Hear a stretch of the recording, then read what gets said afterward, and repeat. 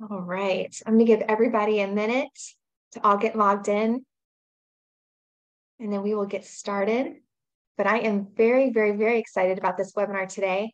Um, as you guys know, my name is Ginger. I am the Executive Director of the Connectionology Seminars of America, and we are so excited to have you. Um, but I am even more looking forward to today's webinar because we are featuring Brian Chase out of Newport Beach, California. Um, and he's going to be sharing with you guys a lot of great information about auto defect cases. He's an expert on this. Um, now, I do know that you're going to have questions, so I want you to be sure to put those in the Q&A box for me.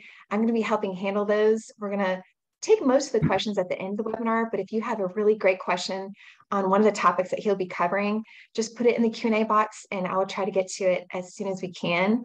And then later on, you're going to meet four of our incredible partners with HMR, Fox AE, and OnPoint. You hear me rave about these companies. They are tremendous and they are wonderful people.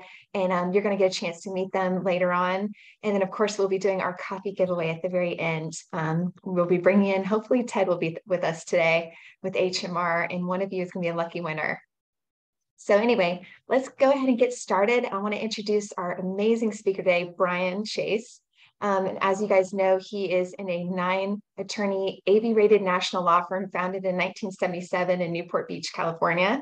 And he's also the managing partner as well as a senior trial attorney that heads up the litigation department of the firm. And in the firm, it actually specializes in auto defect cases, as you guys know, which is his passion, and then catastrophic personal injury cases, mass torts like pharmaceutical and medical devices, um, where he has held a lot of leadership roles. Um, and they also handle a lot of unemployment, employment, and consumer class actions um, in addition to that, he was in 2015 the president of the Consumer Attorneys of California, which is incredible, as well as in 2007 the president of the Orange County Trial Lawyers Association, which are two amazing organizations here in California. Um, he's also a member of ABOTA, and um, in 2014 and 2004, he was named the Trial Lawyer of the Year in products liability by the Orange County Trial Lawyers Association.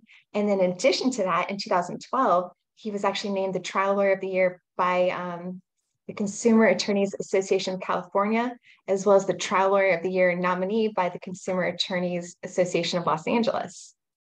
And um, so he's received multiple awards, you guys, and he speaks all around the country. Um, in 2020 and 2021, he was also listed in the Daily Journal Top Plaintiff Lawyers. And he's also been listed as one of the top 100 trial lawyers by the American Trial Lawyers Association, and that's been since 2007. And then he's also been listed as the nation's top 1% by the National Association of Distinguished Counsel. And in addition to that, guys, he's written two incredible books. Um, one of them, which was in 2009, is called Still Unsafe at Any Speed. And I'm going to have him talk about that during this webinar um, because he just went ahead and published a um, kind of like a fresh version of this book um, back in 2019. And that one's called The Second Collision. So these are two books you definitely want to look into. And I believe Brian said he'd be happy to send you a copy if you're interested. Um, I put his email in the chat box for you. And then in addition to that, if you want a copy of today's slides, you'll also be able to reach out to him directly. Um, and besides all these incredible awards that he's received. He's also a frequent um, guest speaker on several radio and television stations. So you may have seen him on CBS Morning Show, Good Morning America, the CBS Special Reports, CNN, World News Tonight, and Fox 11 News, which is incredible. And he is also the lead attorney on four very important um, precedent setting appellate opinions um, I'm going to actually email these to you guys because I think they're really cool. But Martinez versus Mason and Ford Motor Company is one of them. Um, but I'm going to email this to you because I think it'd be worth looking into. So, Brian, we are just so honored to have you. It is going to be a great webinar, and I'm really looking forward to hearing everything you're going to teach us today. Well, wow, Ginger, thank you for uh, for the, for that lead and that introduction. Uh, you know, I'm, I'm, turning red over here and kind of embarrassed. I owe you for that. That was that was that was pretty nice. So thank you very much, um, and thank you everybody who is is watching this today. I love. Let me share my screen and get my PowerPoint up for everybody. Um, and okay. There we go. So there's my That's contact perfect. information. Um, it's got my cell phone and my email address for anybody if they are interested in getting a copy of this presentation. Happy to share it with you. Uh, Ginger mentioned the two books I've written uh, on auto defects, and and it really what I'm talking about today is in those books. The first book is deals with how to identify them. I want to make sure that you're real clear on that when I finish today. And the second book is is more of some litigation or some trial st- strategies and, and, an- and an update on the book on identifying it. So if anybody would like copies of those, again, text me, call me, email me. I'd be more than happy to give you a free copy of either of the books too. Um, as you'll hopefully see today, this is a real passion of mine. I have been doing almost exclusively in my personal practice at the firm auto defect cases for about 25 years, um, all over the country. I have a big passion for it. Um, I love teaching it, and, and in large part, I love teaching it because I've been doing it so long. I think I have some good nuggets to share with you, and hopefully you'll get some today. But also, I have had so many clients come to me over the years, literally, where they went to another law firm or a couple law firms and told they didn't have a case, or they, you know, they got the fifteen thousand dollar policy or the hundred thousand dollar policy and told they didn't have any, you know, of an additional case and even some very well-meaning attorneys had hired experts and the experts said they didn't have an auto defect case or some other remedy. And that has happened dozens of times over my career. And on all those quote unquote no cases i've resolved or got verdicts you know for millions of dollars for those people. So we owe it to our clients or our prospective clients not to miss these cases. A lot of people really do. Even even well-intentioned people that know to look for an auto defect case will miss them I want to make sure I'm going to give you some great tips today. I've got pictures, I've got videos to show you how I identify these cases, really uh, photographs and a police report. Oftentimes, I don't even need to hire experts. I want to share those, those secrets with you and tips with you because um, I don't want you to miss the cases. You owe it to your clients, you owe it to your practice and your business um, not to miss these cases too. So um, without further ado, I'm going to move on here. So the, the defects that I'm going to cover today um, or what I call, I sort of, I call them the cookie cutter defects. These are the defects that we see every day on the road. Um, there are obviously one-off cases, and I'll talk about that or touch on that later. That I, you know, I can't cover a hundred different defects, but the defects that literally happen every day on our nation's highways, and that are going to come across your intake team, I'm going to go through today. So I'm going to talk about seat back failure cases and I'll give you pictures and videos, and, and so you'll understand exactly what I mean by that. I'm going to talk about rollovers, rollover cases. I'm going to talk about roof crush cases where roofs crush in and catastrophically injure or kill people. Uh, I'm going to talk about tire cases, tread separation cases. I'm going to talk about airbag cases, both failing to deploy, inadvertently deploying when they shouldn't. Sometimes they deploy aggressively and cause injuries. I'm going to talk about that going to talk about seatbelt buckle failure cases. And, and, I'll give you some really good tips and pictures on how I how to identify these cases. In the old days, I'd have to give an expert a few thousand bucks, go look at a car. Now I know what to look for. Nine times out of ten, there's always going to be a case you're definitely going to need an expert early on. But I'm going to show you some good pictures on that, on how to ID those. I'm going to talk about door latch failure cases. I'm going to talk about fire cases. And then kind of a new trend that I see a, a, lot more of these cases is lack of including safety options. Cars have gotten safer, um, but manufacturers, if the government doesn't make them, you know, put a safety item in there, you know, we don't have them. We'd have to pay for seatbelts if the government didn't make them. So these these safety option cases, I'm going to give you a lot of examples of those because I see a lot of those cases out there um, as well. So, and as Ginger said, I know we're going to have, I think, 30 minutes of Q and A set aside at the end. But if I finish, you know, one of these defect categories, and if you have a, a question, put it in the chat box, and then Ginger, while it's fresh in her mind, and then she can decide um, if, if if we want to interrupt and answer some of those questions now versus waiting until the end. I'll leave that up to, to you guys and Ginger. Okay, so first thing on deciding whether to accept the case, common pitfalls that I see is one, if no significant damages um, you know, they're expensive cases to litigate. And so you need to have a catastrophic injury. You know, typically, you know, a bro- broken arm or a broken leg is, is not going to cut it. You really need a, you know, catastrophic TBI, spinal cord injury. Um, you need the damages there with a, with a big life care plan, preferably to get the manufacturers to want to you know, try to resolve the cases with you short of trial. Um, I get people referring me cases all the time, and, it, and it's and it's a good defect case, but the damages just aren't there. You've got 50 grand in meds or something like that. So you really, in general, want a catastrophic injury. Um, another thing that I really like to talk about this is the general rule of thumb: if the vehicle's not preserved, you don't have a case. Now, I do some cases without a car. It's rare, but I do. And so normally when I talk to people that do auto defect cases, this is the part they cringe on because most lawyers will tell you no card, no case, period, black, black and white rule. Um, when I get to the seat back cases, I have done several of those cases, you know, survived MSJ, started trial on them, um, and resolved those cases for, you know, seven and eight figures with no vehicle. Um, and I'll explain sort of how we do that. But basically, there are certain defects that as long as you have really good pictures um, and you have a signature injury, you don't need the car. Again, it's the exception to the rule. In general, no car, no case. But I would hate for someone to have a case where you can do it without the vehicle and you tell the, the, the client, you know, they don't have a case. I get a lot of those as well. The third point I want to talk about is failing to retain the right auto product liability experts. Um, as I stated in the beginning, I've had people come to me where a law firm hired an engineer uh, you know, somebody that they use in their ordinary everyday PI cases, go look at the car and just say there's no defect. But, you know, if you don't specialize in auto defect cases, those experts can miss the cases too.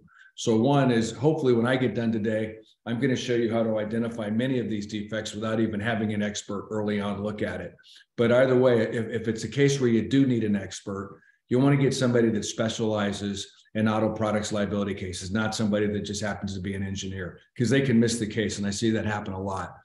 And if anybody has any questions at, at the end of this, feel free to email me or text me on my cell phone uh, on various experts uh, and various uh, fields of expertise they have. Be happy to point you in the right direction. So you've got people that know exactly what to look for. The other problem is you get an expert that doesn't necessarily do auto defect cases, but early on they tell you you have a good case and after you're into it for fifty or hundred thousand dollars and you're getting ready to designate them, they start then telling you, well, you know, you don't really have a case. And now you're in a bind. So you really want to get the right experts on these cases. It really is a niche um, uh, specialty for folks. Okay, so the first defect I'm going to talk about is seatback cases. And um, so when I talk about a seatback case, what do I mean? I'm going to show you here's a crash test. It's a sled test I did, and we're pulling the car backwards. It's to replicate a rear end accident. So when I run this video, you'll see the driver's seat lay down flat, collapse rearward. You'll see the dummy hit its head in the back seat. And so when I'm talking about a seat back case, this is what I'm talking about.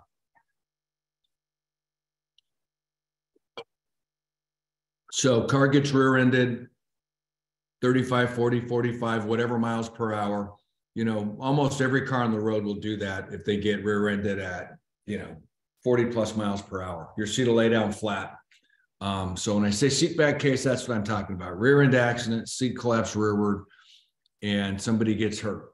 There's two mechanisms of injury that we typically want to look for in these cases. One is injury to the person in the front seat. Obviously, if uh, the seat lays down, or maybe not obviously, but when the when the driver goes back there, or it could be the passenger. They hit their head back there. What typically happens is you break your neck, and you're usually you're a quadriplegic or a paraplegic from these types of accidents. And so we're looking for someone in a front seat that got injured by their seat breaking and then going into the back seat. Oftentimes get a TBI as well. Then the other um, plaintiff or, or, or person that we're looking for in these cases is someone that's injured that was sitting in the rear seat. I mean, the auto industry tells us, right? Where do you put your children? You're supposed to put them behind, you know, mom or dad in the rear seat. And obviously, I just ran that. This happens too. So if there's a child back there, I get a lot of cases, and these are really devastating cases, is where one of the parents they get rear-ended. Let's try to run that again for you. They get rear-ended, and the parent goes back and strikes the child. And I've had children get hit in the chest and rupture their aorta and kill them. More often than not, it's just going to be catastrophic brain injury or facial fractures. So that's what you're looking for typically. When I say seat back case, you want to see if somebody in one of the front seats got injured. Um, and if you've got a child back door, or it can be an adult as well, uh, in the rear seat, you're going to want to look to see if, if they got injured. Now, what do you look for at intake? So uh, what I have here on the left-hand side, you can see this car. Uh, the seat's laid down. Hopefully you can see the arrow there, the driver's seat on this Honda. It's laid down flat. So if someone calls me up and they might not say, I have people think, hey, hey, Mr. Chase, I, I have an airbag case for you. Well, it's not an airbag case and the airbag shouldn't have gone off. It's really, it's a seat back case. People don't know necessarily to look, look for that. But on intake, if I've got a driver or a front seated occupant that's got a brain injury or a broken neck and they're paralyzed and they were in a rear end accident, I'm thinking seat back case.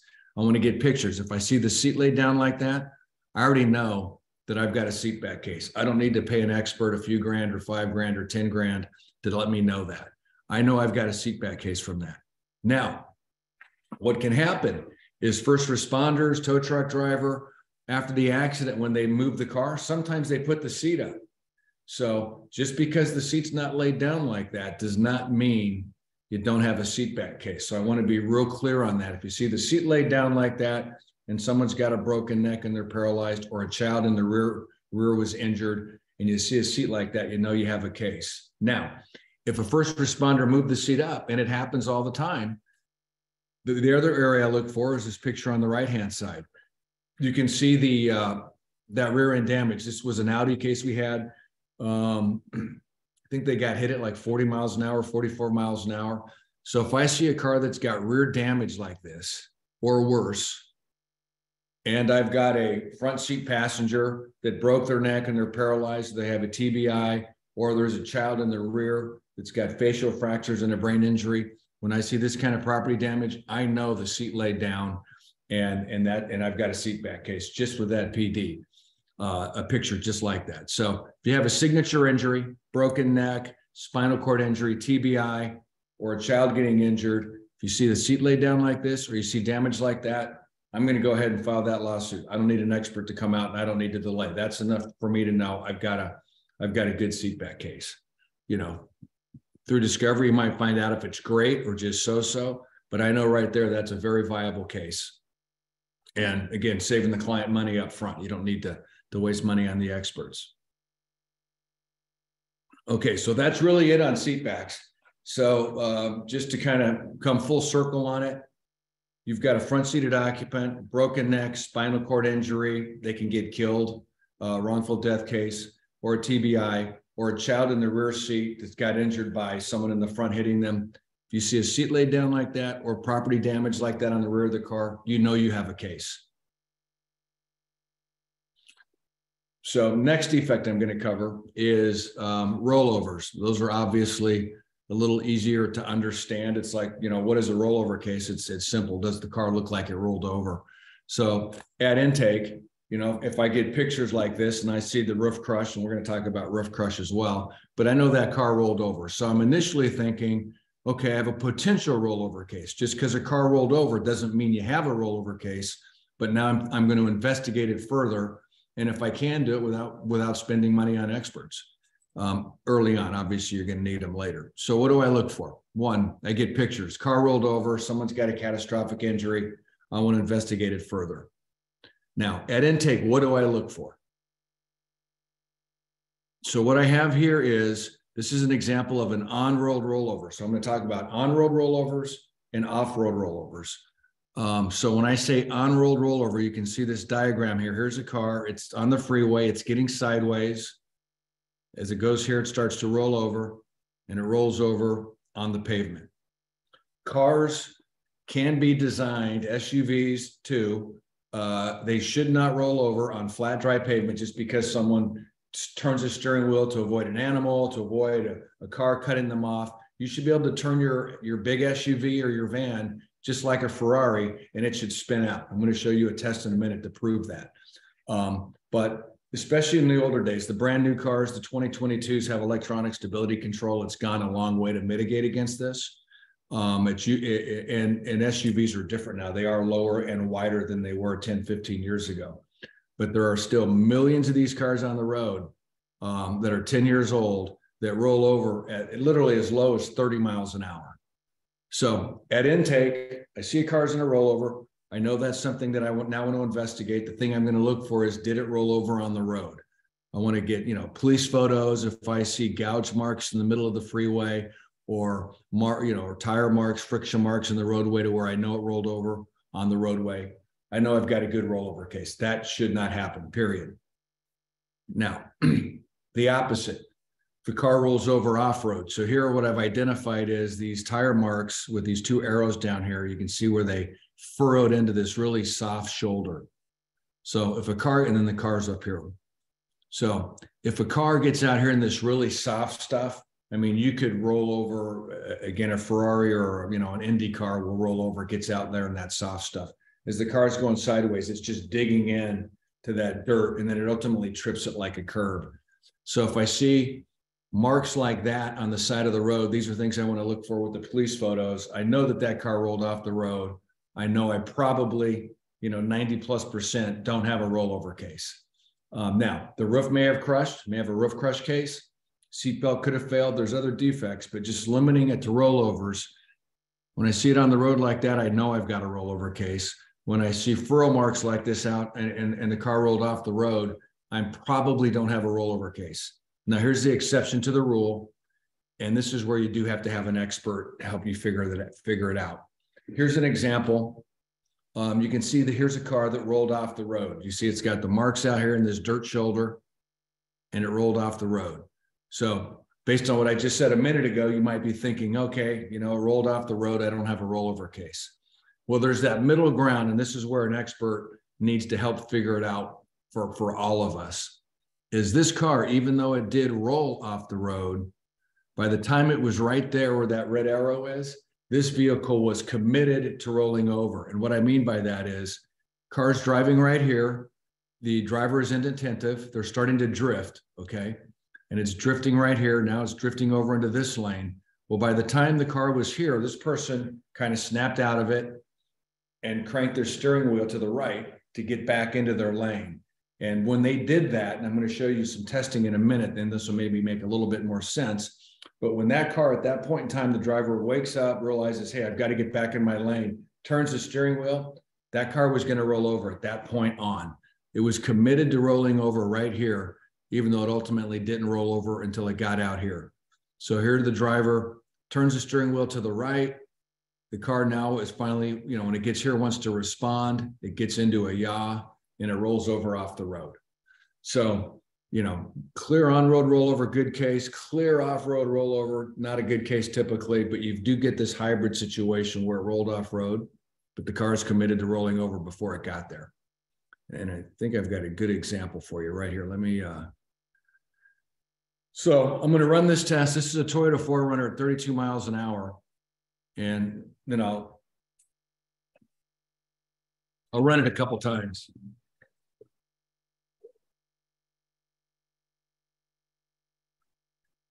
So if that SUV did not have those outriggers on it or the trailing wheels, it would have just rolled over.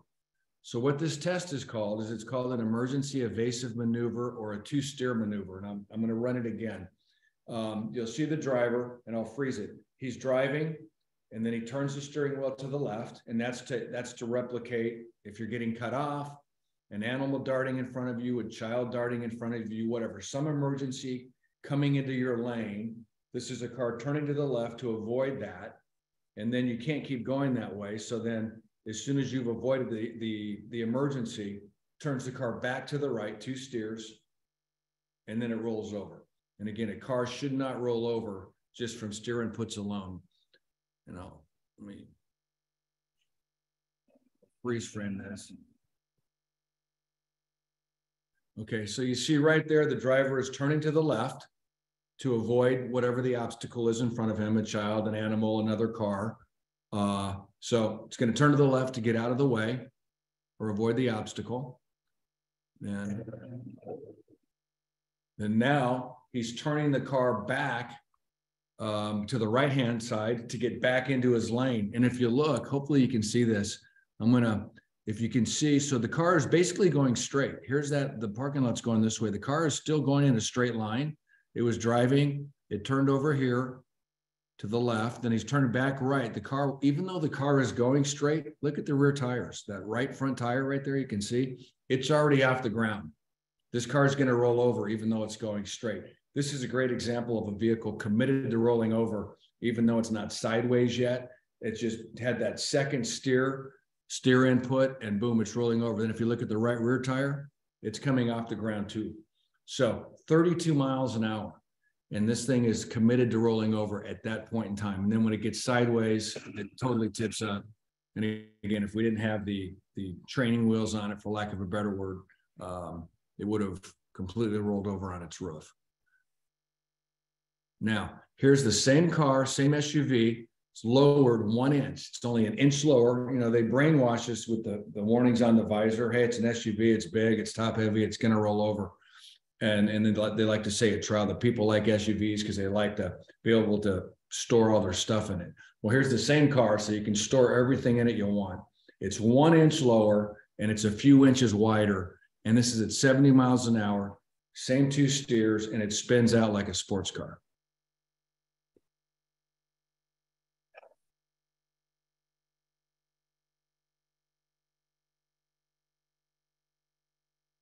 And that's what a properly designed car should do. You should be able to go that fast, be on the freeway, do your evasive maneuver to avoid whatever accident's coming at you, and spin out like that and walk away. Um, let me just go through it again real quick just to freeze frame it for you. So there's the driver turning to the left, again, avoiding whatever obstacle, child, animal, getting cut off on the freeway.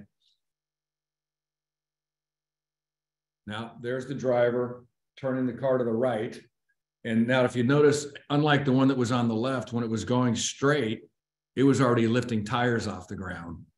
This one is beyond straight. It's getting more to the sideways position here. All the tires are on the ground because it's just a few inches wider and one inch lower. It doesn't take much to properly design a car not to roll over.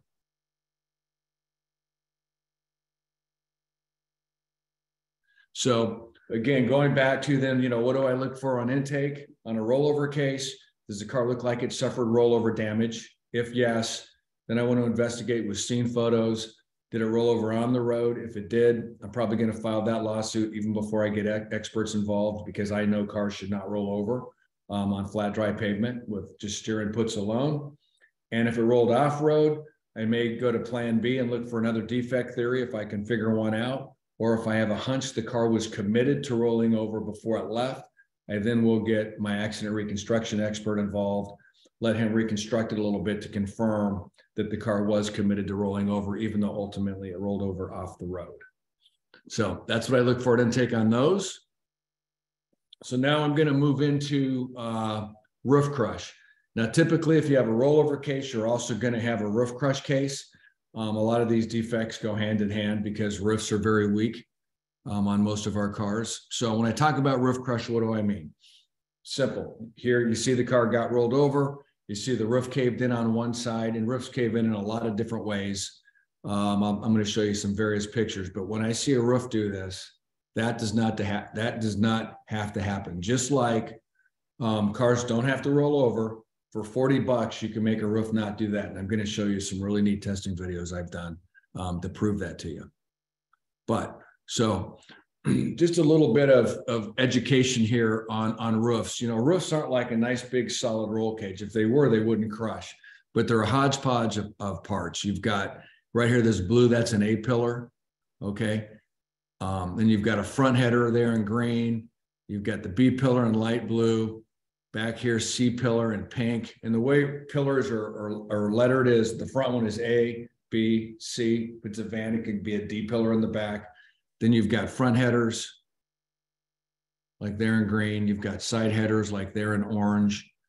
This red area here, you have a corner junction. So I like to analogize. It's like having a bunch of toothpicks that you glue together. And if you roll over and you land on the roof, these are all just potential areas to fail and I'm going to show you some photographs, and that's what I look for on intake is a catastrophic failure of the pillars, the headers, or corner junctions. You'll see, you'll you'll get one or more of those failure modes in these roof crush cases. So let me give you a couple of examples.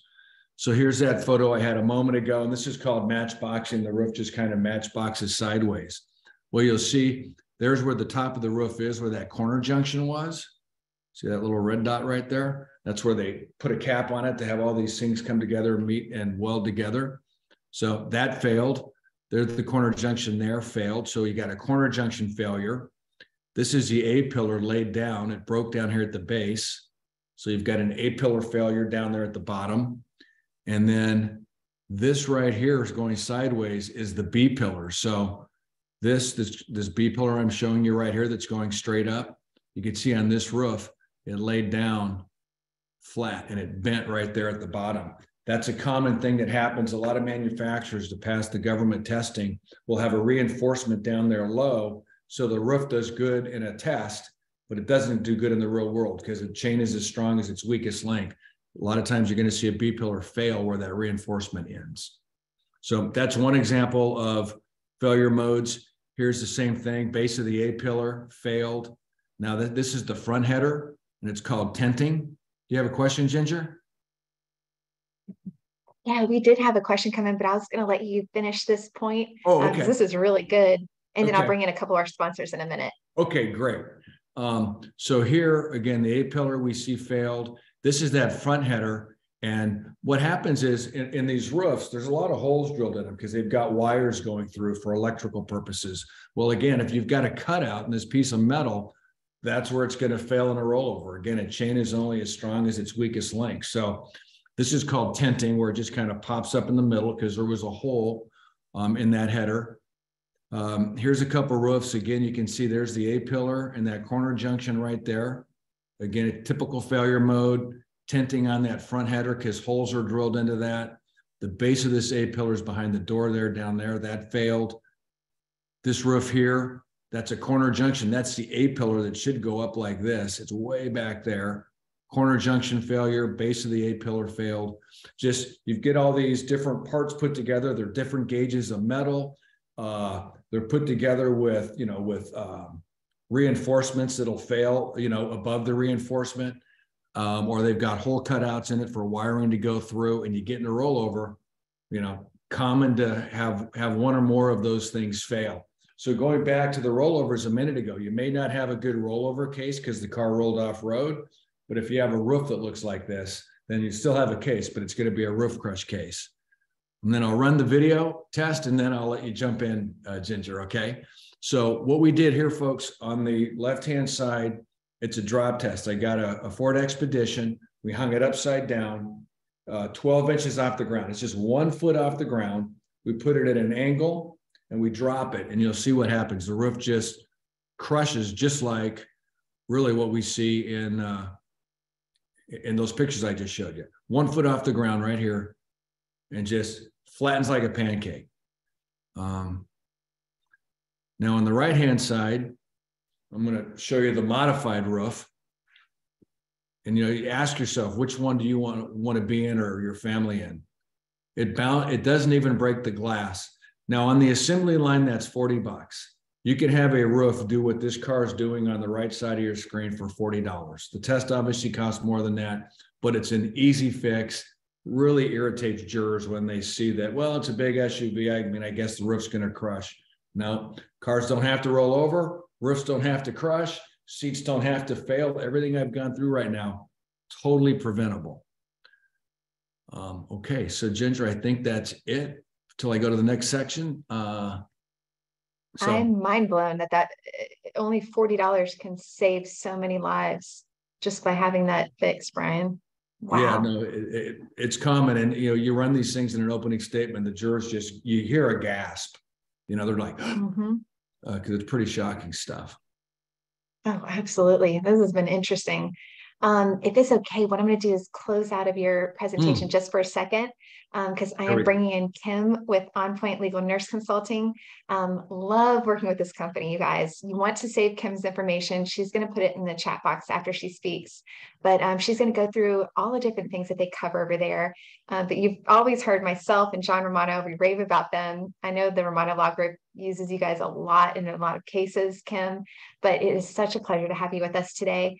Um, please share with us a little bit more about what you guys specialize in. Great. Thanks, Ginger. This is fascinating. I uh, can't wait to tell my husband, okay, we need to check this. Um, but to tell you a little bit about us, um, we're a legal nurse consulting and a full litigation support firm. Uh, we've been helping attorneys for about 30 years on any cases that involve illness and injury. So we have several key areas that we can help you with. And the first is record organization. So we know how difficult it is to find the information you need in the volumes of records, particularly in cases like these with these accident cases. You mentioned TBI cases. We know how complex they are and how many records there can be. So we have a team of nurses that will organize them for you they will index them and return them to you in an OCR format. If you're getting bogged down in some of these complex cases, maybe your paralegals could use some help. Um, we, the nurses in our consulting program have a lot of experience helping attorneys they make the complex information simple. They do this with timelines, chronologies, and it includes our unique case analysis, which outlines strengths and weaknesses, as well as identifies um, missing records, system failures, red flags, and possible defense strategies. We can also identify the impact of pre-existing conditions, which can be um, important for accident and injury cases. And we can um, differentiate between new versus aggravated injuries. Um, we also have a nursing home program that can assist with anything long-term care related, from specialized experts who are familiar with those um, standards of care and to do simple merit screens, thumbs up, thumbs down. Um, we also have an expert witness program that we provide fresh, well-rounded experts in any specialty needed. They're all clinically active and located nationwide. For damages, we excel at quantifying damages with our life care plans and medical cost projections and we have both nurse and physician life care planners um, and medical cost projections can be used when um, it's a less complex case, it's a lower cost option. For non-economic damages, uh, our pain and suffering analysis, we learned how important it is to tell the story of the client's symptoms, and they do just that. Um, we quantify what the client is experiencing, loss of freedom, loss of mobility. We pull that information out of the records for you to expand upon. So our goals really are to help you simplify the medicine, make you sure you're not blindsided, and to avoid any surprises. You can email me directly, or you can also submit information through our website on the Contact Us tab. Thanks, Ginger. Perfect. Thank you so much, Kim, for being with us today. And again, if you don't mind, put your information in the chat box because I want everybody to write this down. save it, you know, whether or not you need to talk to Kim now or later on. Um, but we appreciate all the great work that you do, Kim. Thank you. Thank you. And I hope to see you back again very soon. And now, you guys, I'm so excited to introduce you to Cody, um, who you probably already know now because you've been seeing him on our webinars a lot lately. And he just finished um, two very good webinars. One of them, which was the carbon monoxide webinar that we did last week. And I promise you, if it's the last thing I do today, that webinar is going to be on our YouTube channel this afternoon. so if you didn't see it, you'll have a chance to go and watch it. Um, but Cody does a lot of great work. He's going to share with you what they do. And I hope he's got some videos to show us um, and Brian, I think you're going to be interested to see what Cody has to do as well, because I mean, he blows me away every webinar. So Cody, I'm sorry, I'm, I'm sorry, I I'm sorry I missed the CO one. So I'm going to have to watch that because I have an interest in that. So have at excellent. Oh. excellent, excellent. Well, everybody, um, we do science and engineering graphics. So I'm an engineer by trade. I've uh, been trained in accident recon at Northwestern, but we just love we love communicating uh, complex issues, right? Complex jargon in very simple terms. And uh, and so, Brian, one of the things that I notice is you've got video, right? There's the right design and the wrong design, and then what that does. We take that that same idea, and it, it's such a great thing because people say, "Oh, well, that's how it should be. This is how it should not be." And we make animations. We can show the inner workings of things. Uh, I've been trained in DD um, diagnostic trouble codes and and all this recall stuff. Uh, so very familiar with with these kinds of things and and uh, uh, product defects. But I want to share uh, just a quick case with you. Um, this was a product def- defect case. It was it was improperly designed, but it was actually the median cables. And a guy was driving a, a Dodge Viper, and so I'm just going to go ahead and play this. And um, now we didn't have the black box data, so we just played this in slow motion. Um, and I'm going to go ahead and um, so he he spun out and and he went towards the medium and he he lost control. And we didn't show the other cars because that was in dispute exactly how that happened. But here's what wasn't in dispute the cables. Okay. And the cable design and installation was improper. And because it, it didn't, it didn't have the pull force. Yeah. And you see that post there, it didn't have the pull force that it was designed to have, okay, that it should have had. And so we've got marks in there. And so our, our job was to show exactly how this failed. And so we can even show, okay, so you see the bumper damage there and we show okay that's where it came impact it impacted the post okay? And we show that the the animation is accurate. And then it's the post slid across the top of the dodge viper. Well we show our 3d model is exactly the same as the inspection photo that you previously saw. Unfortunately what happened was that cable sliced the man's head off and we had to we had to do a censor there. But because it was a uh, a convertible okay and because that post came up it shouldn't have come up. But because that post came up um, that cable went up and over the top of of the glass and then sliced his head. But we were able to show that with great detail without getting too gory into the details, but show it from an engineering perspective. So that's what we that's that's the kind of thing we do. That's awesome, Cody. I'll give you a little plug. I've not used you, but what that is very awesome what you just demonstrated.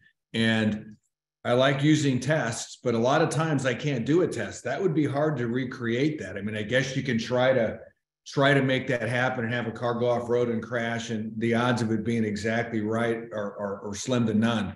So a lot of times i will use animations like that and that was you know because that's how you can prove it when you can't do a test. Sometimes i like to use both anyway because anyway great job. That's interesting stuff. Well, thanks, Brandon. I'd love to geek out with your with your engineers and your expert witnesses, and and I just love that stuff, and I love communicating it to normal people that just um, can can watch it and understand. Yeah, no, I see your energy in that. So yeah, I'm, I'm, we're going to work together. That sounds great. Yeah. That's it. And I tell you, I I always say this. I love your enthusiasm and your passion for the work that you do, mm-hmm. and it shows, Cody. So thank you for everything and uh, be sure to put your information in the chat box. Everybody can stay in touch. And I look forward to seeing you again on our webinar next Thursday on cross examination. So, Sounds great. Thank you. Cody. Thank you, Ginger. Yep. Thanks, Brian. Yeah. Thank you. All right, Brian. I do have a question that came through okay. um, from Gregory. Would you like to take that one now? Sure.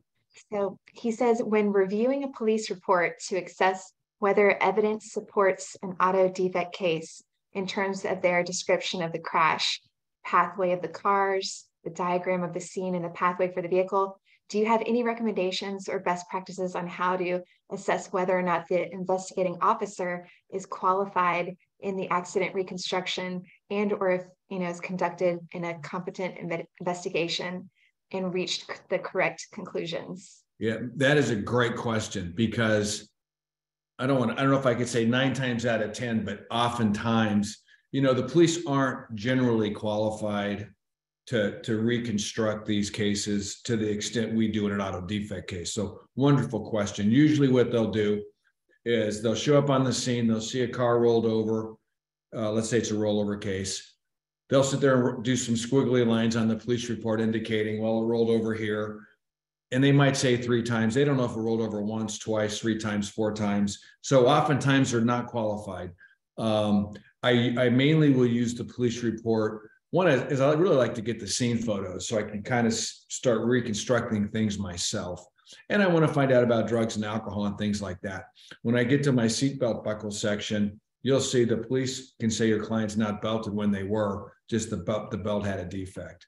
Um, so, but how do I give more weight to, to a report versus another? So for example, in California, we've got, you know, MAIT, a MAIT team will come out there. Uh, if there's a, if there's a lot of deaths, um, I forget what it stands for, multidisciplinary, blah, blah, blah, blah, blah. I don't know if they have them in every state, but when I'm looking at a, at a police report, if I see the police is out there spray painting, you know, red marks in the road, taking measurements and really trying to reconstruct it, they may be more right than wrong. But if I see a report that's got a lot of math in it and a lot of measurements, at least I know they're trying to do a decent job. And there'll be some useful information that's going to usually be pretty okay. If I don't see measurements or anything like that, and I just see a conclusion that car was going, you know, based on witness witness one, witness two, and witness three, so and so was going 75 miles an hour and they rolled over. That's not really a lot of useful information. So um, I guess the more detail, the better with regard to a team out there taking measurements and documenting it would give me a lot more security that there's uh, going to be some some validity to what they're concluding. I hope that answered the question. Absolutely. Thank you so much, Brian. And um, now I know we've got a lot of other great information to cover. So I'm going to go ahead and hand it back over to you. We can pull up where we left off. Okay. And um, appreciate this. All righty. Absolutely. Okay. So uh, now I'm going to talk about uh, tire cases or tread separation cases. And um, it's really all you, all I look for at intake is did a tread. So let's look at the picture here on the right. There you can see the tread is missing off the tire. You see that? Here's the sidewall. There's just no tread. When I see a tire, and this oftentimes, almost always, will lead to a rollover. For whatever reason, it seems to be a rear tire on an SUV, a van, or a truck. And if it's the left rear, it's going to pull the car to the left. And then from watching my rollover presentation, now you know what's going to happen. The driver's going to turn the car to the right and it's going to roll over. Or if it's a right rear tire, the friction's different when the tread misses, it pulls the car to the right driver's going to turn it to the left and they're going to roll over. So tread cases typically will end up being a rollover case and a roof crush case as well. But at intake, what do I look for? Just missing tread. Here's another tire. It's harder to see, but you can just see there's the tread is missing all the way around that tire. So at intake, when I see that, I'm thinking, okay, potential tread separation case. That should not happen. You're going to want to preserve the tread. I have a picture of it there. Usually the police will throw it in the back of the trunk of the car, uh, back of the SUV, um, and you'll have it. Now, the reason I have to have an expert look at this is there, there are certain defenses on these cases that I can't tell with my naked eye um, if I have a good tread separation case or not. I just know if tread's missing, I have a case. This I'll send to the expert because things that they're going to look for that can harm the case is was there a bad patch? On the case. So if you if it say the person had a flat six weeks before, six months before, two years before, if you get a bad patch, you can get air, moisture, water in that patch, and then that starts loosening up the steel belts. That's a defense to a tread separation case, or it can be a defense. So I'm going to want to look for was it patched and was it patched badly? Now, if Pep Boys or Kmart or whoever patched it poorly, now you have another defendant and you're just going to you know sue them for negligence for for a bad patch job perhaps. But that m- might not be uh, necessarily a good tread separation case. The other thing the experts look for which don't rule out a case like a bad patch would but goes against the client is they'll argue that there's evidence the, the tire was underinflated and the person was driving it with you know 10 pound too little psi in it underinflated tires treads can't separate. I still take those cases, but it's not as good of a case. So the expert really will, you know, dig into the carcass of the tire to find out to look for things like underinflation, patches, uh, curb damage. Maybe the car hit a curb uh, somewhere in its lifetime, and they'll be able to see damage to the tire inside the tire. Um, and, and, things like that that will identify if you have a great tire case, a so-so tire case, or a very poor tire case.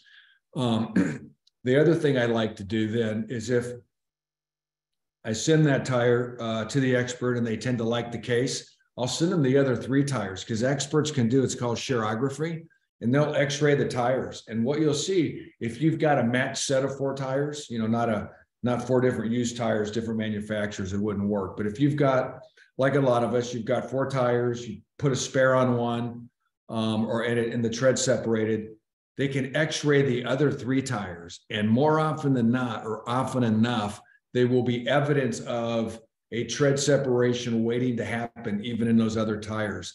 That helps you on your defect part of the case. If they want to blame the tread separating tire for being underinflated, a curb strike, a bad patch, those are things they may want to argue. But then how come the other three tires are showing evidence on x ray that the treads are coming apart, the steel belts are getting loose? Um, so again, at intake, I just look for a missing tread. And unfortunately, on these, you really do have to have an expert look at it uh, to find out the strengths and weaknesses of it. So this is one area where I've been doing this, you know, for a long time, but I, I can't tell by looking at a tire uh, what the defenses may be. But at intake, catastrophic injury, missing tread, get an expert on that one. Uh, oh, there's another example. You can see right there the tread's gone. So when the expert has the case, they'll go through this thing. They'll look at it. They'll X-ray it. They'll look at it. They'll, they'll pick out things up here where they can tell steel belts were missing. There might be a bad a bad splice there's a lot of things that go on inside a tire that the experts can identify um, what the alternative designs are um, that could have prevented the tread from separating. so that's really it on, on tires. Missing tread and have to get an expert on it. I wish I could could be a little more specific on that one, but that's just it for tires. But it happens a lot, so we have to be aware of those cases. Now, airbags A few different defects we have here. This is an example of failure to deploy. You look, you know, if I get at intake and I see a car that's been in a crash like that, I mean, that's a big crash. And I see the airbag didn't deploy, and I've got a, someone with a catastrophic brain injury um, or or whatever injury from you can see how deformed this steering wheel is. You know, I know I have an airbag case. You know, I don't need an expert to tell me that airbag should have deployed. Now, one thing to be careful for, because I've made this mistake, you know, 25 years ago and learned the hard way a couple times, is if it's an old car, this looks like a pretty old car here. Sometimes car will be in a crash, someone will junk it, some sleazy used car dealer will repair it and sell the car, and there'll be no airbag in it. So I'm looking at this going, man, that airbag should have deployed. But when I see an, an older car it won't be happening on a new car. But if I see an older car with that damage and no airbag, I'm going to have my expert go peel back that cover and confirm that there is an airbag in there that failed to deploy. Now, obviously, if there's no airbag in there, then you've got some other defendants to start potentially looking at who who uh, who salvaged the car, who who repaired it, who sold it. Unfortunately, oftentimes fly-by-night companies with no insurance, but not necessarily. Um, I have had a rental car company do it one time and I, I think they just bought a car from somebody they didn't know was missing an airbag. But in general, big property damage, no airbag, you probably have an airbag case. I don't need an expert to look at this, do a download, and figure out what the Delta V was in, in the various stages of deployment of the airbag. Now, the other thing that we'll see from time to time, it's called inadvertent deployment. And here's a car, uh, not in an accident. You know, there's no damage to the front. Again, I need some better examples. It's an older car, but no damage to the car at all. It was sitting at a uh, at a red light, and both airbags just deployed. It happens sometimes. Or you could be driving down the road, airbags will deploy, and someone will get in a crash, and it's called inadvertent deployment. Um, that's not so. If they're parked, obviously that's not supposed to happen. If it happens when they're driving down the road, I will get an expert involved because one of the defenses, which I don't think is a good defense, but they will argue if you're driving, maybe uh, a rock that was in the road bounced up and hit the bottom of the car where the sensor was and caused the airbag to deploy. Now, I don't mind that because you could design cars and place sensors in better locations to where that doesn't happen. But if a car had, was not in an accident and the airbag deploys, it's called inadvertent deployment. Uh, I'm going to want to get an expert involved in that and do a download and, and try to figure out why they why the airbags deployed. But those are going to be good cases. Now here's the gray zone, and I get, if not weekly, certainly bi-weekly, people referring me a case to look at and say, hey, you know, the airbag didn't deploy. And, it, you know, look, look at this car. It's got damage. It's got damage there. It's missing the grill. It's kind of the hood is buckled and the fender's buckled right there. So, you know, it was in a front end front end collision, but the airbag didn't deploy. And normally when you have damage like that or a little bit worse, people will, will rightfully probably assume, hey, the airbag should have deployed. Um, now, a couple problems. Usually the person's not that hurt in this crash, so you're not going to have the damages. But even if they were, you know, the airbag, there's something called the gray zone. You can't make an airbag deploy at, let's say, uh, you have a Delta V, 12 miles an hour or below, doesn't deploy. 12.1 mile an hour above it does. It's just you can't make it that exact. So there's this gray zone. Airbags typically will be, you know, a 15 mile an hour Delta V or 16, 17 mile an hour Delta V and above must deploy below 12 mile an hour delta V must not deploy. Then you got that five mile an hour range because you just can't make it that precise. So this is an example of the gray zone and the airbag just wasn't supposed to deploy. So if you have front end damage that doesn't look really significant, you're probably in the gray zone. A download will let you know that. Um, but it's something to keep an eye on. I've, I've had you know, a lot of people that don't do auto defect cases always assume that these are good airbag cases. And, you know, airbags are really dangerous. I mean, they could they could really harm you. And so, you know, you only want to deploy an airbag in a crash to where you're better off risking getting some injury from the airbag hitting in the face or in the side of the head than you hitting the hard steering wheel and getting a TBI or something. So you don't want airbags deploying in minor crashes. Um, so that's that's where you end up getting that gray zone. So again, at intake, big damage, no airbag. I know that's probably a case unless it's missing the airbag. No damage, airbag deploys. That's an inadvertent deployment. That's going to be a great case because that's just not supposed to happen. Um, and then you're going to have these gray zones. And if you're just not sure, um, you just have to get a download and then uh, find out what the delta V is. And if I see it above, oh, 14, 15, 16, then I know, man, that airbag probably should have deployed. I may still have an expert look at it, but when I see it down in very low teens or less, I know we're probably in the gray zone. Now, oh, another area on airbags, and this this doesn't happen a lot, but it happens enough. I see these every year. And as I said, airbags are dangerous, um, but you're not supposed to get these types of injuries from it. So this is what I call either a late deployment or an aggressive deployment. If you've got a client that's got significant facial fractures, or if they lose an eye, um, sometimes they can break your neck and get paralyzed.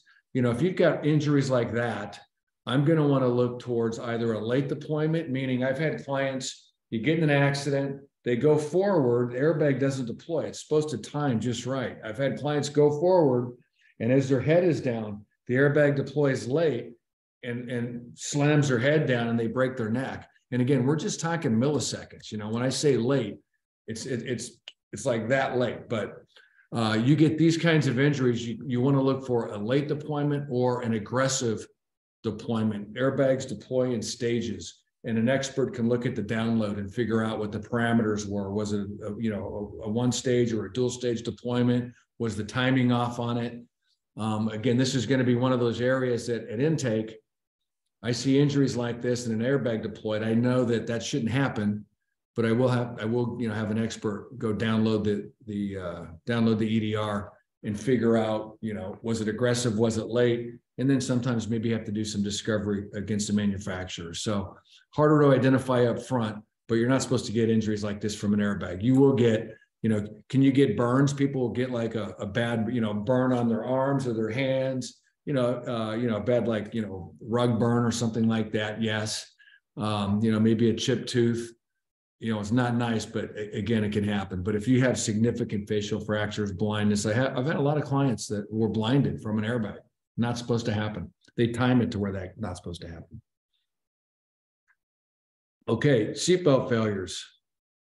Now, seatbelts fail in a, in a number of ways. How are we doing on time? I'm gonna have to speed up here. Um, this is called false latch. I'm gonna, this is, this car is driving into a barrier right here. Or this test, I'm gonna freeze frame it. Okay, so you see this dummy right here is belted. You see this, this shoulder belt right there. You see the lap belt right there. This is a crash test. So they're crashing it into the wall, and you're going to watch that seatbelt come undone. See? I'm not going to run it again because I want to finish these slides, and, and I know I'm, I'm getting short on time here. But um, that's called false latch. Someone thinks they're buckled up. Now, if this was an auto accident, someone asked a question earlier, how do you know if the police are right or wrong? Well, this policeman, if that was a real accident, that was your client, and, and they were killed or catastrophically injured, the officer would say they weren't wearing their seatbelt. And obviously they, they were.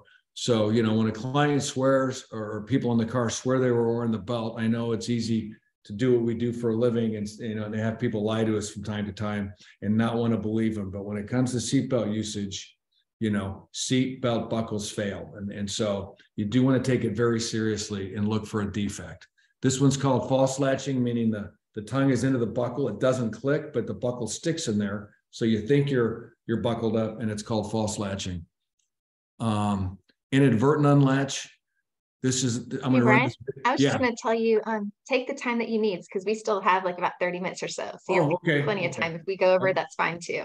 Okay, Okay. thank you, thank you. Yeah, this is so interesting though. Like I'm, it's just fascinating. I'm learning so much about it and um, uh, can't wait to see what's up coming up next. So thank you. Okay, well, that, thank you, Ginger. I appreciate that.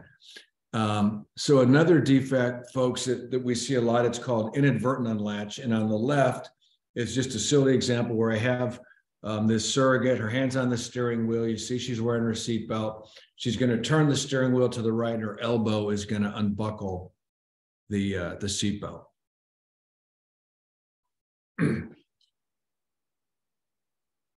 And this happens in rollovers, people's elbows can hit it. See, that's not supposed to happen. Buckles are designed to where your elbow's not supposed to be able to uh, unlatch it. Next time, I'm not going to use someone as thin as her because it probably looks like I'm trying to trick the test uh, with a with a skinny elbow or something. But that's not supposed to happen.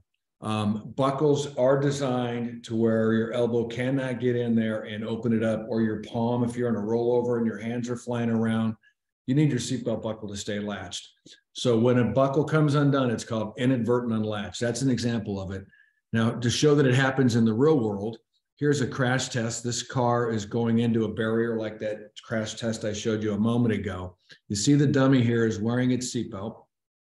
What happens is this dummy, after it hits the wall, the dummy's elbow it goes, you know, he kind of goes forward, he or she.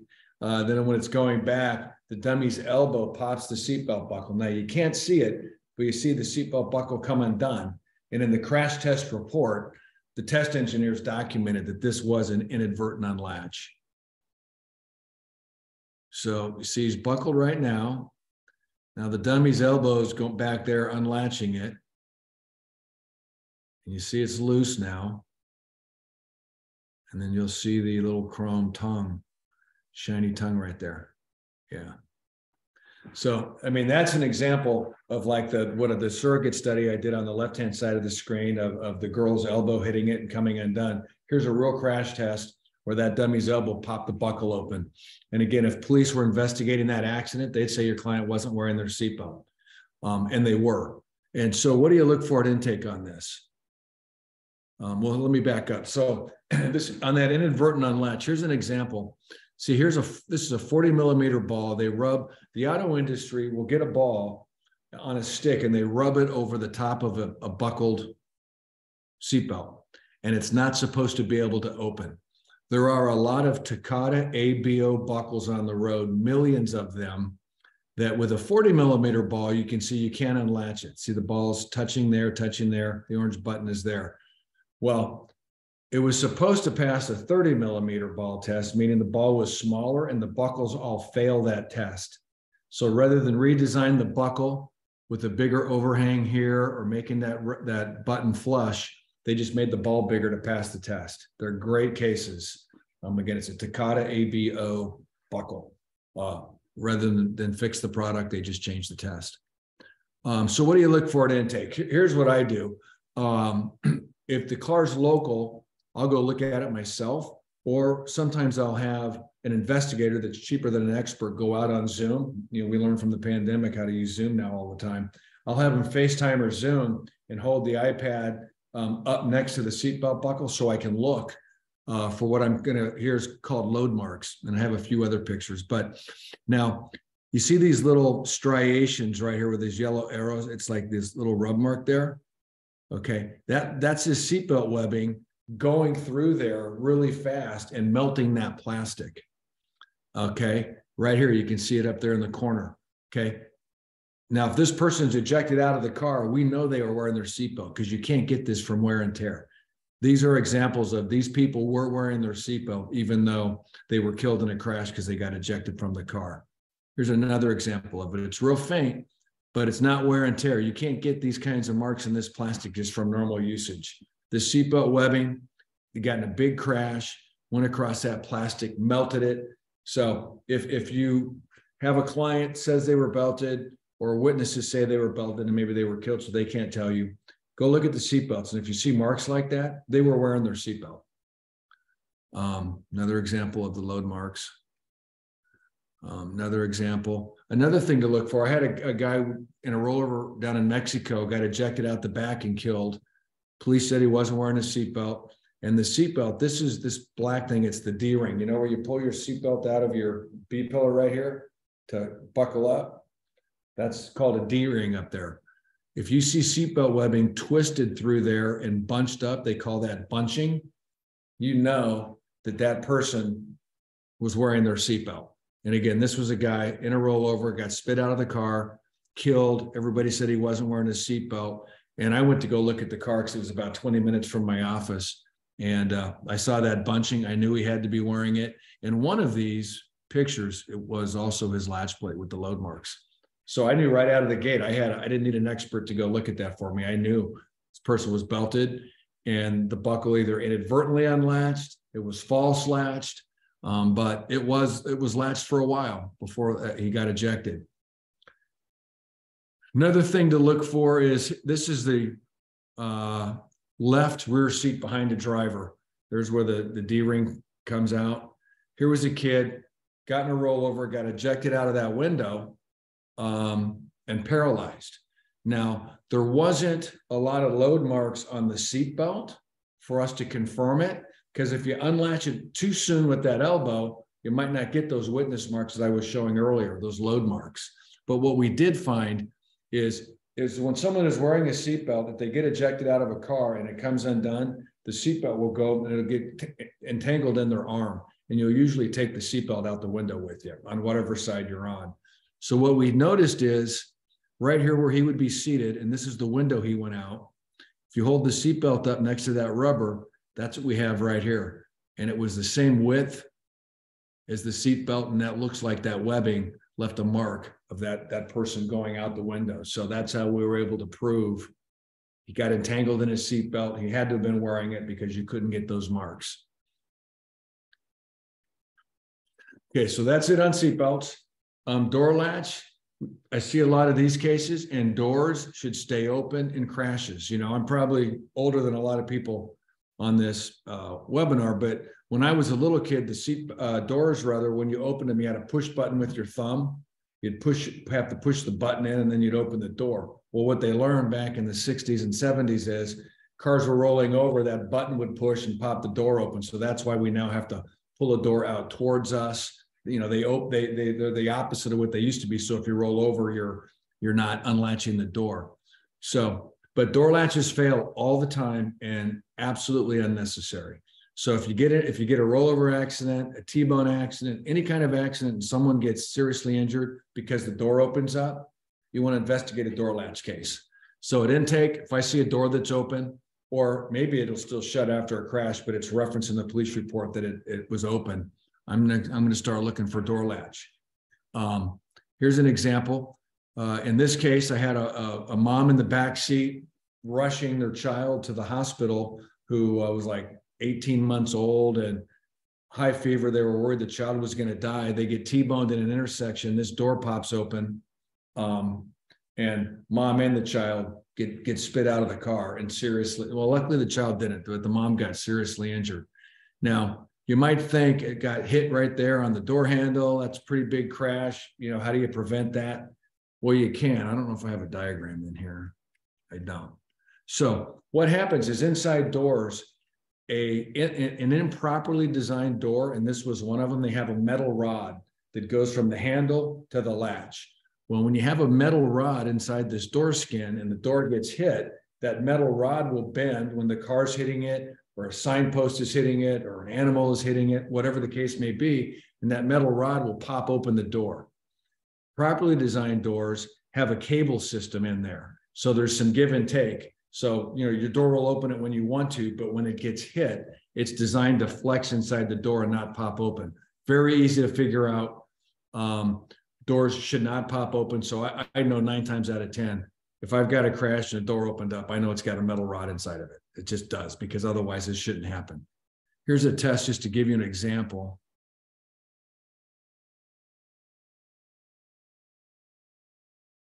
So what we're going to do, here's a test we ran. This is just going to push on the door right here.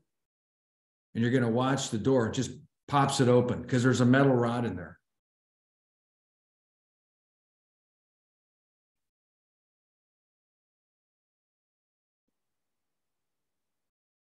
And you can just imagine all the various accident scenarios that can happen.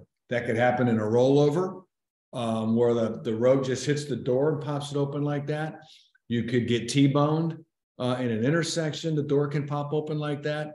You could just be involved in a in a you know a single vehicle accident and hit a signpost um, or a tree, and the door can pop open. Anything that impacts the side of the door with these metal rods in them, and there are other defects as well, but that's a very common one. The doors will just pop open.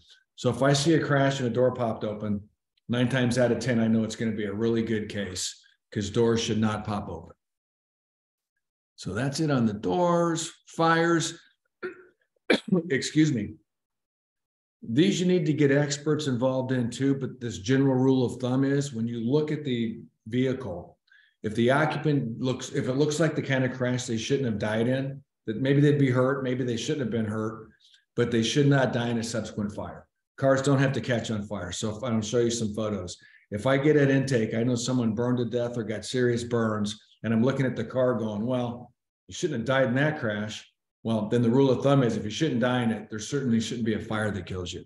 So here's a couple of examples. So at intake, here's a you know car. I mean, the the car mounted this center divider, and then there was a pole on it that ran over. And the pole, you can see where it broke the bumper or bent the bumper back there. But not a bad crash at all. Nobody should have got even hurt in this accident. But that pole ran under the car and just sliced open the gas tank. And then this poor person that was in the right front seat, like 70 degree burns over her body, and 60 days later, uh, you know, died from them. Very easy fix. You could have, you know, you could shield the gas tank differently. You can have an inner line inside, inner liner inside of it. This is not supposed to happen. I look at this picture at intake going, you don't get hurt in that. You don't even get hurt in that crash, let alone die. There's got to be a defect. And then Uh, on this one, it was a lack of an inner liner. Here, this case, just poor design gas tank behind the rear axle instead of in front of the rear axle, like the old Ford Pinto days. Now, this is a bigger crash than the one I just showed a moment ago, but the driver here rear-ended the car, opened his door, and walked away. It's not a crash you get hurt in. You know, I mean, you might you might want to physical therapy or something, but you certainly don't die in this crash. Well, in this front vehicle, in light of what we've talked about earlier, the very first defect on seat backs, remember seats get rear-ended and seats go back. What happened here is there were two people in the front. In this rear end crash, the seats laid down. So they're now stuck on their back, kind of got their bell rung on top of having a fire. So they weren't able to get out of the car. And the witnesses heard the two people inside this vehicle, you know, screaming until they succumbed to the to death from the from the fire. So I see a rear ender like this. I'm thinking seatback case. I'm obviously thinking fire case. And on the fire case, so you, you'll need to get an expert to look at that, to look at, you know, where was the tank placed? How was it punctured? Um, you know, was it preventable? But again, generally they are. If you shouldn't die in the crash, you can prevent that tank from rupturing. And sometimes it's as simple as this. Here's a case I had. You can see the, that's the fuel filler neck down there. It used to be up here where you put the gas in. And then we had a tread separation. It ripped that down there. And then this car caught on fire. A lot of times these fuel filler necks will pull out of the gas tank. And then as soon as they do that, um, any type of spark will ignite that fuel and you're going to have a big fire. Here's a very easy fix for five bucks. And a lot of cars don't have this. It's called a fuel check valve. You'll see this gas come pouring out. It's, it's water, not gas. And that's what happened in that van. This this happened. The, the, the steel belts from the tires started sparking. The van, blew up and burned everybody in it. Now, for less than five bucks, this has got a, a check valve inside that tank spud right there. Not even a drop comes out. So a lot of times in a fire case, one of the things I look for is, you know, could be gas tank placement. Is it behind the rear axle? Is it around unfriendly surfaces that when the car gets rear-ended, uh, you can get a fire? But uh, also, these cases I like the best is if you find out that the whether you put the gas in goes down that fuel uh, uh, goes down the fuel filler neck, it plugs into the gas tank down here. If that was disconnected in the crash and had a fire, oftentimes it's because they don't have that little $5 part to prevent that from happening. So again, at intake, you know, does it look like you should survive the crash? I'm going to investigate the fire case. And then if I want to get into the weeds a little bit further, in addition to what punctured the gas tank, if anything, I want to find out if this fuel filler neck became disengaged from the gas tank. And then you've got this real easy fix. Okay, I think this is the last one. Um, and there's a lot of these cases out there right now, and it's lack of including safety options. Uh, so, for example, here's a case this guy got T boned, looks like a really bad T bone, but if you look at it, it's really up more by the feet back here where the, the driver's seat is. There's not a lot of intrusion. This guy got a catastrophic brain injury. And so at intake, I'm thinking, okay, so he's got a head injury, something hit his head, he got T-boned. I immediately go look for an airbag. And I see no airbag up here. And then I'll go online and I'll Google the year, make, and model car. Nine times out of 10, I'll find out that a safety option is it comes with a side curtain airbag. If it did, my client doesn't have that injury. I want to confirm that with a biomechanic, but you will see. So, I mean, the auto industry again, if seatbelts weren't required, if front airbags weren't required, they just want to charge you extra for it. Um, and most people don't know it. I've I've got an old email. I won't name the manufacturer because it's confidential, but they made a half a billion dollars more profit selling cars without safety options. Now that seems kind of counterintuitive. You'd think more expensive the car, you're going to make more profit. But the average person, when they go buy a car, they don't all say, Hey, I want this safety device, I want that safety device. I remember when I was a little kid and I went to go buy a Honda and a little Honda Civic I was in college. And the guy said, How much you want to spend a month? And I said, 180 bucks. Well, they're going to put me in the cheapest car that they make the most profit on, that'll have no safety options on it. And they make their money. And that's how they end up making more money without selling safety options, even though again, it's kind of counterintuitive. Most people go to the car lot and they say they want to spend X, X dollars a month. You never want to answer that question when you're buying a car because that's what they're going to do. They're going to fit your budget and give you the cheap piece of crap on the lot. So at intake, head injury, no airbag, I'm thinking, okay, did it come as a safety option item? If it did, good case. Um, and even if it wasn't an option item, they, if as long as the technology was around and it has been since like the late 90s, they should have that. Um, just another example, side curtain. Um, now, sometimes there's two different kinds of airbags. There's this, there's the side airbag that you get T-boned and it comes down. Now that won't necessarily activate in a rollover because it's a side airbag, but then you have rollover airbags that are made to activate in a rollover. So sometimes in rollovers, a person's head during the rollover will go outside the window plane, hit the ground, you'll get a TBI or killed. Well, they needed to have a rollover airbag in there. So I'm looking for that. At intake, if I see a car that rolled over, some roof crushing, no side airbag, I'm thinking rollover airbag. They've had those since 2002 and a half. This is some new technology that I just learned about a couple years ago, but it's been around for about five, six, seven years. It's these center airbags. Back in the old days, I would get cases where people in the back or the front, they would conk heads and get killed or get a catastrophic injury, and there was no way to prevent it. I mean, other than put somebody in a five point racing harness, and no one's going to wear that seatbelt to keep you rigidly in your seat like in a race car. Well, this technology of these center airbags. They have them in the front. Um, there's a crash test into a big old pole. Um, you can see how it keeps, you know, this dummy's got the side airbag there. This dummy's got that airbag there.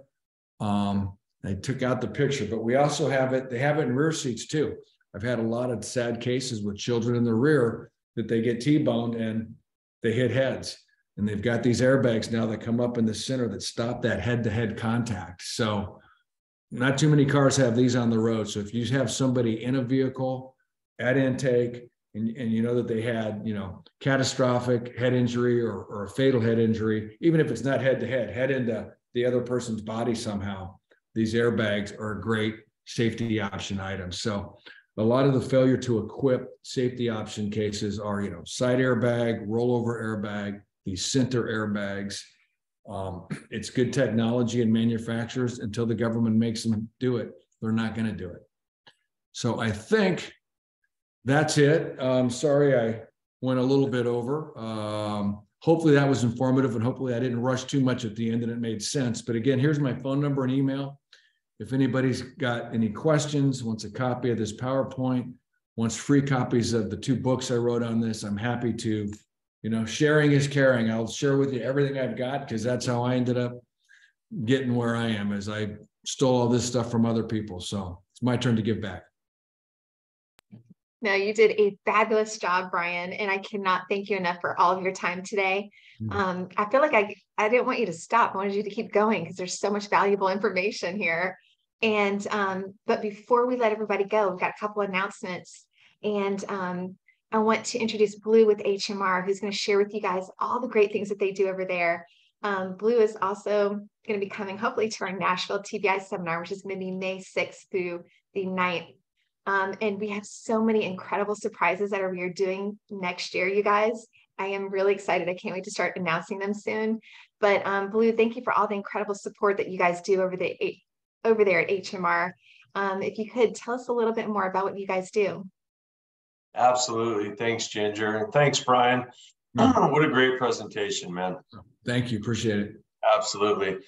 Um, so uh, HMR servicing. Uh, we're a nationwide uh, you know, funding company. I, I, would venture to say that we are the premier funding source for personal injury uh, plaintiff law firms. Um, I want to highlight three things with everyone today. Um, the three the, the three main things that we offer. The first of which would be pre-settlement funding. Um, we understand that this is a tough time for your client. Uh, maybe they can't pay their their mortgage or their rent or you know they're having uh, vehicle issues um, so we can step in and help out um, on you know sometimes on those cases for you guys uh, we also offer case cost funding um, to help help you shore up your case you know if you need experts you need a life care plan uh, uh, accident reconstruction specialist, you know, anything like that, um, we, we, we'd love to help you out with that. Um, third, excuse me, third and final thing uh, would be medical funding. So we are we are currently in 40 states, uh, and the reason I like to bring that up um, is to let you know attorneys know that we have quite the quite the network of providers nationwide um, that we're able to utilize. Uh, the nice thing about the providers that we use is that they're aware of what what we're doing here. Uh, they're aware that you know this is a personal injury case, um, which means you know the reporting uh, needs to needs to reflect that, right? Um, so it, I feel like there's there's quite a bit of value in just having the right doctors and the right network in order to step in and really help build a case with you guys. Um, so uh, with that, um, I don't want to take up too much more of anyone's time. We did get new hats, Ginger, so I thought I would sport that today. Take it for a little test drive. Fantastic. I think we're gonna have to get some as well so we can wear them out.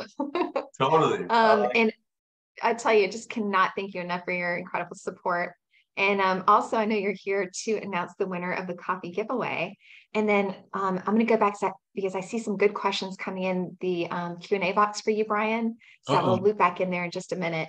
Um, but Blue, if you could do the honors and let us know who the winner is of the four bags of freshly roasted coffee, that would be great. Absolutely. So the winner of the coffee is Alan Dolison uh, out of Los Angeles, California. Congratulations, Alan.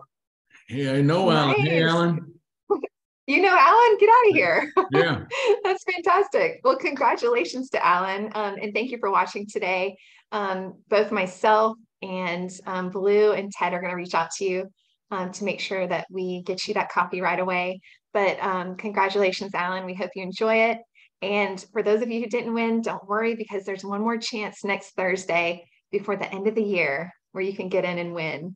So we hope that you do. And um, congratulations again, Alan. Thank you, Blue, again for all that you do. And we hope you see you again very soon as well. And happy holidays. Thank you, Ginger. Thanks, Brian. Have a good Thanks. one. Have a great afternoon, man. Thanks. And then don't forget to drop your information in the chat box. Okay, Blue? Absolutely. All right, see you soon. And then um, now, Brian, uh, I got this one one more question. It's a really good one from Gregory, um, who also is a great attorney out of Texas. Um, he came to our Savannah seminar recently after watching these webinars. So I was excited to meet him. But he says um, for cases where there is a product liability statute law requiring a plaintiff to identify a reasonable, safer alternative design that prevents or greatly reduces the risk of, in- of injury, do you use a particular type of expert to explain how the alternative design product would have done so such as a biomechanical engineer? Or do you use like a combination of experts in these fields to meet this requirement?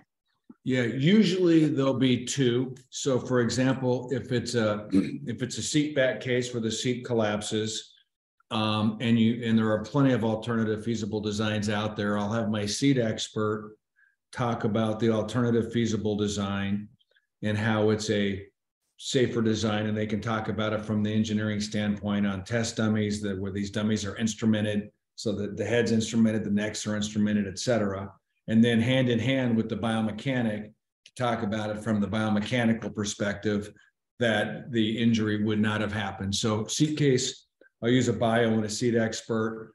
If it's a roof crush case, I'll have a roof structures expert talk about the alternative design roof, 40 box stronger roof, but we'll still need the biomechanic to say that that would have prevented the injury because the defense is not going to ever concede that a strong roof and you would have had a different outcome. They argue you dive into the roof. And so you're gonna have to have a biomechanic, uh, you know, talk about the, the diving defense in a roof crush case. So yeah, generally two experts, the defect related expert with the alt design and then tie it in with the biomechanic. Good question. Fantastic. And then Alan's brought in a good question for you now too. He says, state court versus federal court, which do you prefer? Oh, that's easy. State court, run from federal court. I don't care what kind of case it is. Uh, maybe there's an exception to the rule, but for a whole host of reasons, you know, federal court, limited voir dire, sometimes no voir dire, unanimous jury verdict. I mean, you got everything going against you just procedurally on, on your ability to voir dire the jury and bond with them and ask the questions you want. You need a unanimous verdict. You've got Daubert, higher standard for the alternative design. You know, a lot easier for a federal judge to say that's junk science. I'm not going to let you put on your case. So I run from federal court. Um, I've only tried two of these in federal court, and you know it was a nightmare. But if I got brought in late, and and and the attorneys didn't keep it out of federal court. You know, you want to defeat diversity, you know, sue a bullet car driver or another responsible party along with the manufacturer. Sue the dealership. Dealership can help defeat diversity, but you need to defeat diversity and stay out of federal court at all costs. And, and then lastly, and this is just a practical one, when it comes to, um, you know, most cases settle, right? And um, I mean, we have fun trying cases, but most cases do settle. The problem with federal court, forgetting all the other reasons I just said, it, it, it's kind of anti-settlement on these cases too, because you have to do your federal reports up front. So you got to front load all this expert witness work months and months and months, oftentimes before trial. So as soon as you have a half a million bucks tied up in a case, it makes it hard to settle that case. You know, you certainly can't settle for a million dollars. Now, if it's $10 million, then the half a million doesn't matter. But not every case is a $10 million case.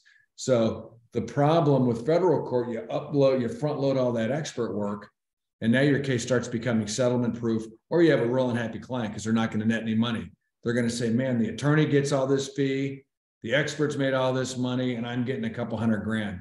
In state court, or most state courts, not all, certainly in California, I have, there are a lot of state courts I've practiced in where they kind of follow the federal rules.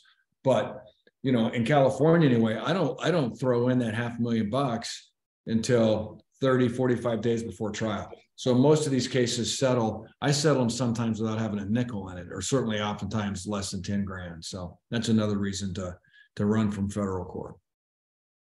Good question. Yeah. From my friend Alan, answer I too. think. Thanks, Alan, for the softball. Well, I cannot thank you guys enough. Um, I am going to make sure that you get a copy of um, Brian's contact information as well as all of our partners today. But like Brian said, reach out to him. Um, his email is bchase, and is it bisnarchase.com? Yes. Is that right? yes. Perfect. Um, and Brian would be happy to send you guys a copy of his slides today. Um, any other questions he'd be happy to address, as well as sending you guys a complimentary um, copy of his book that he wrote, which I highly suggest take him up on this offer. And then you can read it throughout the holidays. Um, this is so nice of you, Brian, to offer that to everybody. And again, big thanks to our incredible partners at HMR, On Point Legal Nurse Consulting, and Fox AE. Again, you guys know we love working with them and we appreciate the support. So give me a few minutes. I will email this over to you. And then also I'll be adding today's webinar to our Connectionology YouTube channel so you can rewatch that and share it with your colleagues. Um, until then though, Brian, is there anything else you want to address with everyone? I just want to, one, thank you and all the sponsors for having me on today. Um, it is just an honor and a privilege for me to talk about this. I love that. Um, and if anybody, you know, wants to pick my brain on something, I love to, there's people I call all the time and, and pick their brain and, and no use reinventing the wheel. So happy to help anybody out. If you have any questions, if you want any other information, that's how we all, we all stand on each other's shoulders. So happy holidays to everybody. And thank you for sitting, sitting in for the last hour and a half. Oh, absolutely. And thank you for teaching me a lot of new things as well, Brian. Like I said, this was a fascinating presentation. And thank you for all that you do for all of us who are watching today, including all of your clients. So um, happy holidays to you as well. And we hope to have you back very soon. Okay. Look forward to it. Thanks, everybody. All right, everyone. We'll see you next week. Have a great afternoon. Bye.